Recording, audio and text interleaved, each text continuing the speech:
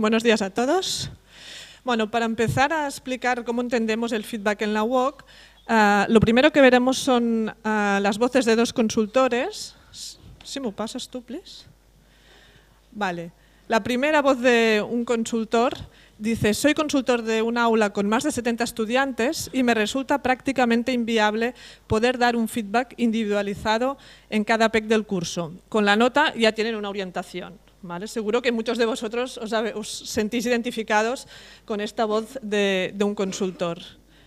La otra voz que hemos recogido Dice, a veces los estudiantes no responden a tu feedback y te quedas con la duda de si entienden lo que les quieres transmitir y si realmente integrarán lo que les he dicho. ¿No? Esta seguramente es una de las inquietudes que muchos de vosotros tenéis como consultores. Podríamos decir que es una inquietud de la mayoría de docentes, ¿no? la mm, incertidumbre de saber si realmente lo que les hemos dicho, ¿no? el retorno que les hemos dado a los estudiantes, uh, lo acaban integrando, si les ha sido útil, si realmente, ¿qué hacen ellos uh, con este feedback? ¿no? Es una incertidumbre que seguramente muchos de vosotros como consultores habéis sentido uh, al corregir las actividades. Vamos a ver ahora uh, qué, opinan los estudiantes, ¿no? que también es interesante. En primer lugar, un estudiante nos decía, me hubiera ido bien uh, recibir comentarios individualizados a mi trabajo, en vez de un comentario general en, en el aula. Uh, por otro lado, uh, otro estudiante decía, personalmente con este sistema te sientes mucho más acompañada, te permite concretar más dónde están los errores y la autocorrección es más óptima. Ya sabes específicamente dónde están los errores básicos. Estos son dos, voces, de estudiantes que precisamente lo que nos permiten ver es uh, qué reclaman ellos, ¿no? qué uh, les ayuda a ellos a aprender y a estudiar mejor. Uh, tanto las voces de los consultores como la de los estudiantes ponen de manifiesto la importancia que tiene el feedback en el proceso de enseñanza y aprendizaje. ¿no? Precisamente por esto mmm, pensamos que es interesante y es necesario pararnos un momento y reflexionar sobre cómo tiene que ser el feedback. ¿vale? En este sentido, vamos a dar unas pautas muy generales de cómo entendemos que tiene que ser el feedback en la UOC, ¿no? en un modelo eh, educativo como el nuestro, que es básicamente asincrónico y escrito, ¿no? mediante el texto escrito. Um, para ello, eh, como veis en la diapositiva, presentamos el espiral de feedback en la UOC, así lo hemos llamado, y lo que significa el espiral de feedback es que lo entendemos en base a un proceso de espiral, un proceso cíclico que empieza en, en un primer paso que es generar el feedback, ¿no? que es cuando vosotros como consultores corregís las actividades, dais el feedback a los estudiantes. Hay un segundo momento que es cuando enviáis el feedback a, a los estudiantes y ellos lo reciben, lo procesan, lo tienen que leer, comprender, entender y tomar decisiones a partir del del feedback de los comentarios que han recibido del consultor y en una tercera fase que es implementar, es decir, tomar decisiones y decir, vale, pues voy a mejorar lo, lo que he hecho. ¿no? Entendemos que el feedback no es solo dar, que a menudo nos quedamos en esta fase, ¿no? damos el feedback, pero no tenemos evidencias de si realmente este feedback el estudiante lo ha entendido, lo ha comprendido y lo ha utilizado, es decir, ha introducido mejoras en el proceso de aprendizaje. Entonces, ¿cómo se concreta este uh, espiral de feedback? ¿No? Vamos a ver ahora las características que las hemos resumido en estos cinco aspectos. En primer lugar, eh, es importante que el feedback informe al estudiante de su progreso. ¿no? Es decir, lo que le tenemos que decir al estudiante es aquello que ha fallado, ¿no? es decir, aquellos aspectos, aquellos errores que ha cometido, pero lo que es importante es informar de qué tiene que hacer uh, para mejorar estos errores. ¿no? Por eso decimos que tiene que informar del progreso en relación a los objetivos de aprendizaje que nos hemos planteado. En segundo lugar, el feedback debe centrarse en el proceso de aprendizaje, ¿no? es decir, no es un juicio sobre la persona, sino siempre es en relación al proceso de aprendizaje, ¿no? orientaciones sobre cómo tiene que ir aprendiendo y progresando en el aprendizaje. Tiene que ser un feedback motivador, ¿vale? es decir, y en este sentido sí que en la universidad es necesario que el estudiante no se nos descuelgue, ¿no? hacer uh, que, que, no lo perdamos por el camino, ¿no? con lo cual es esta idea de ir motivando, ir acompañando durante todo el proceso de aprendizaje a lo largo de la, de la asignatura. Uh, la cuarta, el cuarto aspecto eh, dice asegurarse que el estudiante incorpora el feedback que ha recibido. ¿no? Esto va en la línea, ¿no? es una concreción del espiral de feedback que presentaba antes. Es decir, nos tenemos que asegurar, tenemos que planificar una serie de actividades o de acciones para evidenciar, tener evidencias de que el estudiante ha utilizado el feedback que nosotros le hemos proporcionado.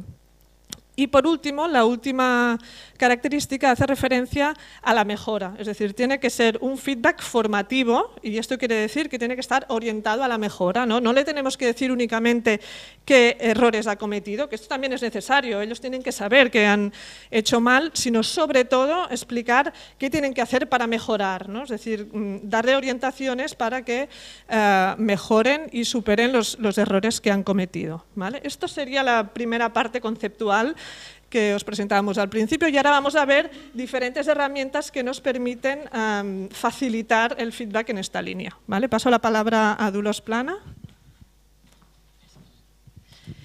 Muy bien, pues vamos ahora a ver las herramientas. Os vamos a presentar a través de seis ejemplos, seis herramientas distintas a la hora de facilitar el feedback a los estudiantes.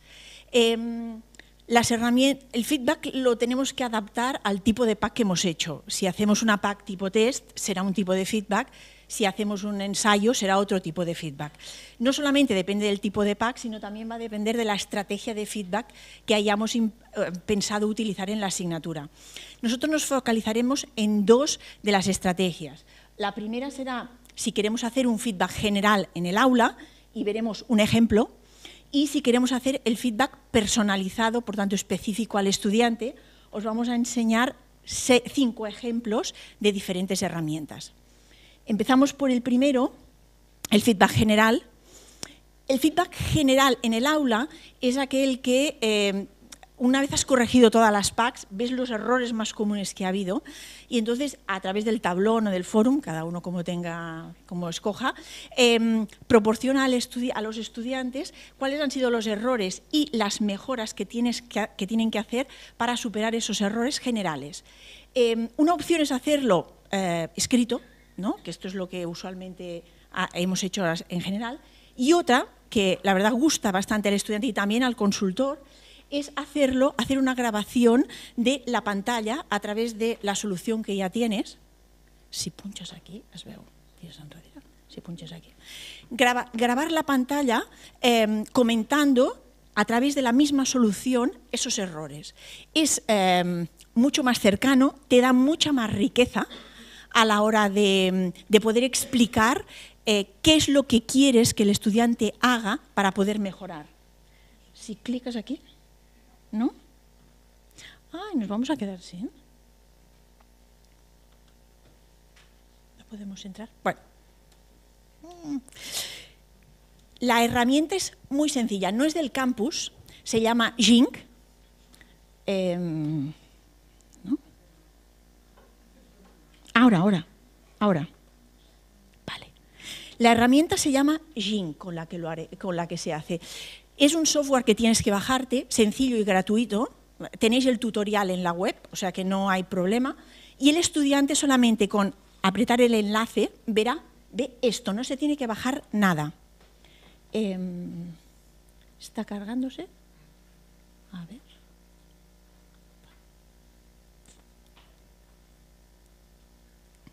Lo podéis utilizar no solamente para los errores, eh, para hacer un feedback general en el aula. Si os envían una duda eh, a vuestro buzón y tenéis que explicar algo que igual solamente escrito cuesta mucho, también podéis hacer una grabación y enviársela. Es potente cuando se abre, ¿no? Bueno, pues se queda aquí. Vosotros lo podéis, como la tenéis, eh, tenéis esta presentación, la podéis mirar en casa. Está en la página web. En la web. de la jornada. Tenéis el tutorial junto con la presentación. Bueno, no lo podemos ver, es igual. Pasamos al siguiente, no pasa nada. lo, intentaremos al final. Es sencillo, ¿eh? la verdad, y es muy potente para hacer cualquier tipo de presentación. Lo que sí que os recomendaría es que no os alargarais más de tres minutos a la hora de hacer una grabación. Al principio cuesta, luego nos lanzamos y, la, eh, sí, y cuesta demasiado. ¿vale? Por tanto, sí, siguiente. Esta es feedback general en el aula, es un complemento oral en lugar de hacerlo por escrito. Y ahora lo que os vamos a presentar son cinco estrategias de feedback personalizado, por tanto específico al estudiante. Em, no podemos pasar. Vale. Vale. A ver. Vale. Muy bien. La, mm, el feedback personalizado y específico cuesta mucho de, como consultor. Tampoco es necesario que lo hagamos a todos los estudiantes, podemos decidir qué estrategia utilizamos para enviar a qué estudiantes, hacerlo de manera selectiva, eh, pero lo que, tiene, lo que tiene es que llega directamente a ellos, eh, lo ven muy, muy, mm, muy hecho a medida, los motiva mucho y, por tanto, aunque cueste, también es una estrategia a tener en cuenta, sobre todo a seleccionar cuándo la haremos y cuándo no la hacemos. Vale. El primero de los ejemplos, el primero y el segundo, eh, están integrados en el aula y es muy sencillo porque eh, dentro, cuando incluís las, cuando hacéis la, ponéis la nota, igual muchos de vosotros ya lo utilizáis, ¿eh? en la parte inferior pone introducir un comentario. Cuando vais a poner la nota, si pincháis aquí encima, lo que se abre es una, pantalla donde podéis hacer un comentario escrito, que es lo que usualmente hacemos, ¿no? Hacemos un comentario escrito, solemos hacer, y además, además podéis adjuntar un documento, si queréis enviarle la PAC con alguna anotación, y enviárselo, y él lo recibe personalmente, nadie más lo ve. Cuando abre la nota, cuando mira su nota, al lado tiene el comentario. O también hay otra opción en el mismo lugar, que es en lugar de hacer escrito, si veis, aquí lo haríamos escrito, aquí pone añadir un comentario multimedia. Y aquí se nos abre una opción increíble que es poder hacer un comentario oral, tanto en audio como eh, hacernos nosotros mismos una grabación. Es diferente del Jing. ¿eh? Aquí nos grabamos nosotros haciéndole el comentario al estudiante. Es muy sencillo, no necesitáis eh, bajar nada, solamente tener una cámara que os grabe. Apretando el vídeo, decís grabar y se empieza a grabar. Es que es instantáneo. Puedes eh, parar, puedes revisar lo que has hecho y si no te gusta lo borras. O sea, no, no es que puedes tirar hacia atrás. Y, el audio funciona igual. En lugar de apretar a vídeo, apretas audio y grabas el audio. Si inicialmente no te gusta cómo grabas, no te ves, cambias. ¿vale? ¿Qué tiene de bueno? Aquí veis una consultora que, mm, hace la grabación. Lo bueno es que al estudiante le llega directo y ve al consultor. No es necesario que todos los comentarios los hagamos em, de esta manera. Podemos hacer uno solamente, ¿no? Em, la, desventaja, que no lo tiene por escrito y por tanto no se lo puede bajar. Esto no lo puede bajar, lo de hacer online, ¿vale? cuando está mirando la nota tiene que mirarlo, no se lo puede bajar pero realmente, y el tono en el que lo decimos, el énfasis, le ayuda mucho al estudiante. De vez en cuando, la verdad es que los comentarios que recibes son eh, de gratitud de ellos. Por tanto, es interesante que lo probéis. El hándicap es verte tú eh, en el vídeo. Importante. Pero a fuerza de hacerlo, al final uno se acostumbra y es como es, tampoco no es distinto. Un. Otra opción, fuera de, este ya no es en el campus, fuera del campus. Eh, muy interesante cuando, por ejemplo, trabajos finales de grado o un ensayo donde quieres insertar un comentario. Normalmente, ¿qué hacemos? Word, abrimos una ventanita y hacemos un comentario. Pero puede haber un comentario en audio, muy sencillo, a través del, Acrobat Reader. Eh, tienes el PDF y insertas, como lo veis aquí, una, una llamada en la que el estudiante pincha, que es donde tú le quieres, y oye un comentario. Es muy sencillo de hacer, aquí no, cuatro, aquí con dos clics lo haces. Os hemos proporcionado un tutorial, em, que ya lo veréis, que os tenéis el Acrobat Reader y lo único que tenéis que apretar es comentario, el audio, y lo insertas y hablas, es instantáneo. Y, ayuda mucho al estudiante precisamente si eh, le quieres comentar algo más que no sea solamente, o le quieres enfatizar alguna cosa que mm, quieres que mejore. ¿Sí? Otro.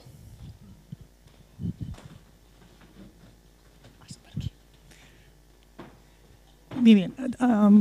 yo os presentaré uh, las herramientas, os hablaré un poco en general y os presentaré las, de las que disponemos todos de manera fácil en, en, la WOC, las herramientas que se llaman Computer Market Assessment o corrección automática o feedback automático. Esta es la panacea de todos, si alguna vez las tuviéramos.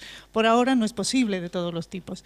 Eh, es un feedback personalizado en este caso, y la gran ventaja, la mayor ventaja que tiene es que eh, de la corrección automática es que el feedback se produce inmediatamente después que el estudiante ha, hecho la actividad. O sea, esta sería la gran ventaja. Cualquier otro feedback que media un humano, pues necesita que pase un tiempo. Eh, eh, al mismo tiempo, claro, tiene, tiene una, una dificultad enorme, que es el es en qué tipo de actividades yo puedo aplicar este feedback. Este sería el otro lado.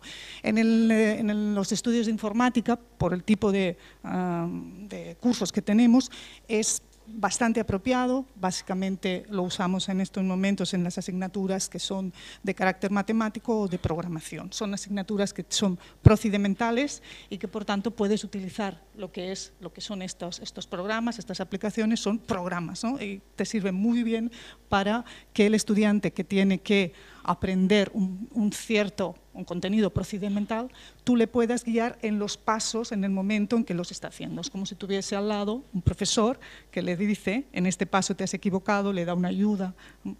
Eh, entonces, en este momento, eh, básicamente lo tenemos restringido, podríamos decir, por un lado, a preguntas tipo test, de elección múltiple, estas son las que sí que se podrían aplicar en cualquier eh, curso, o después ya tendríamos, em, es más difícil, eh, empieza a usarse también para preguntas libres o de tipo texto. Entonces esto depende, también dependerá su uso y la fiabilidad de la manera en que vayan mejorando eh, digamos, los correctores de texto. Eh, en, la UOC, ¿es accesible? Sí. Tenemos los cuestionarios de Moodle, que son herramientas accesibles desde el aula. En recursos podéis entrar y están los Moodle y sobre todo los cuestionarios de Moodle. Es una herramienta muy potente porque eh, sí que tienes que eh, necesita, em, decía abajo, necesita un aprendizaje inicial, pero hay un tutorial y es muy fácil. Básicamente hay que entrar una serie de preguntas en el banco de preguntas y después tú programas cómo el estudiante las va a recibir. Em, hay otros tipos, que son los sistemas que se llaman tutores inteligentes, que son mucho más evolucionados. Estos no los tenemos ah, de manera general en el aula, pero se pueden incorporar en cada curso como herramientas eh, individuales del curso. Si hay alguno que encuentra un tutor inteligente que le va bien, pues lo puede incorporar. Eh, por tanto, yo os recomiendo sí, la, mm, herramienta de, Moodle desde, el aula. Tenemos una cosa intermedia, que es el Moodle del, de la UOC, incorpora algunas preguntas que pueden utilizar una, calculadora matemática y, por tanto, tú puedes programar parámetros. Todo esto está, aplicado, está explicado en el tutorial. Aquí os he puesto simplemente unos ejemplos para que veáis cómo pueden aparecer. Una de las cosas interesantes es que tú con estas preguntas de Moodle puedes montar una PAC. Se puede utilizar para que el estudiante practique, ya que le va eh, dando feedback inmediatamente. Ah, eh, puede utilizar, por tanto, los cuestionarios aparecen, digamos, por azar, los va dando todas las veces que yo los quiera. O bien tú puedes usarlo para montar una PAC. Como aquí os he mostrado, una manera que hacemos una PAC, esta consistiría en 30 preguntas tipo test y el estudiante, tú ya, depende de, la metodología que uses. Nosotros, por ejemplo, en, en, alguna de las asignaturas le permitimos que la PAC pueda realizar, pueda eh, hacer hasta tres intentos.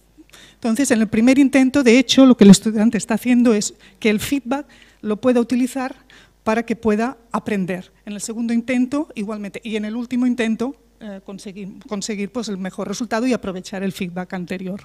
Aquí os hemos puesto un ejemplo de pregunta tipo múltiple, de respuesta múltiple, que es la más fácil ¿eh? de obtener, y después un ejemplo de pregunta que sí que tiene detrás un motor matemático que el estudiante tiene que calcular algo, ¿eh? y la máquina lo calcula también, y le dice si es correcto o no. Este sería suficiente. Ahora Nati se explicará la herramienta de la rúbrica. Bueno, uh, con Nati os vamos a explicar cómo usamos las rúbricas. Uh, la rúbrica, quizá muchos de vosotros ya la habéis usado en alguna ocasión, pero si no, para aquellos que todavía no lo hayáis hecho, pues consiste de alguna forma en, a partir de diferentes criterios eh, de desempeño que están relacionados con la competencia que queremos eh, que los estudiantes desarrollen, pues determinamos una serie de niveles para esos criterios eh, en los cuales describimos unos descriptores para cada nivel que se refiere al logro, al nivel de logro de ese criterio de desempeño. aquí tenéis una pequeña muestra, no es más que una tabla. Ahora en la UOC esto de momento todavía no está automatizado para que desde el aula lo podáis introducir y podáis crear rúbricas de manera ágil, pero estamos en un proyecto, que es un, proyecto piloto que se llama Rubric, que la idea sí que es que podáis disponer de una herramienta dentro del aula que podáis construir, esta tabla, que esto es un sencillo Word, de una forma mucho más automática, ¿no? incluso que pueda haber ponderaciones, pueda calcular y eso pueda darte una nota final. Em, e, esta rúbrica, por ejemplo, la usamos en una asignatura de de, máster que es una asignatura obligatoria y que tiene muchos estudiantes para ser un máster. Siempre tiene un mínimo de 50, 55 estudiantes. Y em, lo que hace es em, permitir a los estudiantes eh, a través de esta herramienta autoevaluarse cuando han terminado un ensayo. La PAC consiste en presentar un ensayo. Este ensayo es una, es una actividad un poco compleja para ellos porque necesitan estructurar un texto, necesitan buscar información, necesitan citar, necesitan argumentar, necesitan hacer unas conclusiones ¿no? y es, es, una, es una PAC final de la asignatura que les requiere bastante trabajo y mucha dedicación. Entonces, lo que hemos hecho es, mm, en esta PAC concretamente, desarrollar este sistema de rúbrica porque queremos darles un feedback muy personalizado y eh, lo que hacemos primero es que una vez ellos han entregado la, o antes de entregar la PAC, eh, evalúen, autoevalúen a través de esta rúbrica este ensayo, en algunas ocasiones lo que hacemos es también entre pares, con la misma rúbrica, eh, con los mismos criterios, pedimos a otro compañero que evalúe el ensayo del vecino y después al final lo evalúa el consultor, con lo cual podemos llegar a tener pues tres evaluaciones que podemos comparar. Y es una evaluación muy rica, porque estamos compartiendo los mismos criterios, ¿no? Tanto para si es autoevaluación, como si es evaluación entre pares, como si es la evaluación directa del consultor. Y además, si quiere el consultor, aparte de la rúbrica, eh, y situar los diferentes criterios en los diferentes niveles, si es insuficiente, pues si es aceptable, si ya lo consideramos notable o lo consideramos excelente, siguiendo también la calificación de D, C, B y A, eh, además puede añadir algún comentario ya más personalizado al final de la rúbrica, con lo cual mm, los alumnos la verdad es que lo valoran muy positivamente. Eh, bueno, eh, también cuando no, por ejemplo, tampoco mm, queremos decir con esto que todas las packs que se hagan tengan que tener una rúbrica. Entonces, a veces lo que hacemos es también animar a los consultores a que diseñen una escala de valoración. Es un poco más simple. De tantos descriptores que resultan un trabajo minucioso y detallado para cada uno de, los niveles, lo que hacemos es introducir aquí ah, los criterios que queremos ah, evaluar y lo que hacemos sencillamente es, mm, de alguna forma, situarlo en algún nivel con una escala de valoración. ¿eh? Y sería una forma un poco más simple, ¿eh? o que podría ser un paso intermedio. ¿De acuerdo? Entonces, Nati también os va a comentar algunos ejemplos interesantes, porque la rúbrica da mucho de sí. Gracias, Lourdes. Hola a todos. Em, esta ya es la mía, sí. Em, en realidad es, un poquito una evolución de lo que ha comentado Lourdes, es decir, cómo utilizar la rúbrica, que es el mismo concepto, mm, eh, de otra manera, ¿no? o con otras estrategias. Eh, nosotros nos la planteamos como estrategia para, evaluar toda una asignatura, que tiene tres actividades y que son actividades de desarrollo. El estudiante debe desarrollar un diagnóstico, un plan de intervención, conforme a unas pautas, a un enunciado, que todo esto a vosotros ya os, os resulta familiar. Entonces, eh, lo ideamos como sistema para conseguir determinadas cosas. Una es que, como es una asignatura con muchísimos estudiantes y por lo tanto muchos consultores, nos permitía consensuar los criterios de evaluación entre todo el profesorado. Y, esto para nosotros era importante. También nos permitía que al inicio de las actividades los estudiantes no solo tuvieran el enunciado, sino que también tuvieran la rúbrica y por lo tanto los criterios con los que se les iba a evaluar. Y también nos permitía una cosa que queríamos incorporar, Em, y que nos resultaba importante y es no dar solo el feedback personalizado al final, con lo cual ya no tienen capacidad de reacción, sino hacerlo también en momentos clave durante la realización de las PACs. Y esto es muy costoso, vosotros ya lo sabéis que supone muchísimo trabajo para el consultor y también para el estudiante que tiene que ir asimilando ese feedback y tiene que irlo incorporando. Así que lo que hicimos es elaborar tres rúbricas, una para cada PAC, con una estructura similar cada una con sus propios elementos de valoración, con cinco niveles de evaluación, que son los cinco niveles, digamos, de evaluación de la UOC. Por lo tanto, lo que os explicaba antes Lourdes de los descriptores está también establecido así, pero en cinco niveles. Es una rúbrica que no la hemos hecho en Word, la hemos hecho en Excel para permitir un poquitito más de juego, con lo cual está ponderada, cada elemento tiene su, nivel de valoración, su puntuación, etcétera, ¿no? y hay una ponderación entre todos los elementos. Y además nos permite añadir para cada elemento un espacio en el que el consultor, si lo considera necesario, además del descriptor de la rúbrica, lo utiliza para hacer algún comentario más específico al estudiante. Y em, la, rúbrica la pasamos en uno o dos momentos a lo largo del semestre.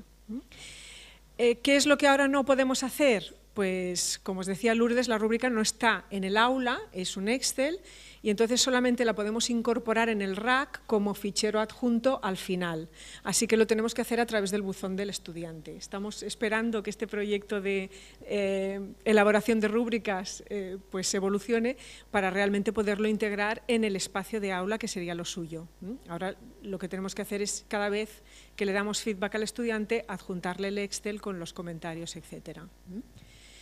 Y no sé si me dejo alguna cosa más. Sí, una, bueno, si podéis entrar y si no, pues... si no, como lo tenéis también en la web, pues porque en realidad es un Excel que tiene un poco la pinta de, lo que os ha explicado Lourdes, la, digamos que la cosa nueva sería toda la parte de, de, la, de la valoración, ¿no? de la ponderación y la valoración.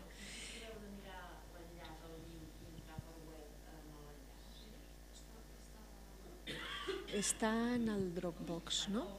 Mm. Mm. No, l'ordinador no està, està al Dropbox. És un link de, Dropbox. Bueno, permitidme que acabe, permitidme que acabe la explicación y después ya miraremos si...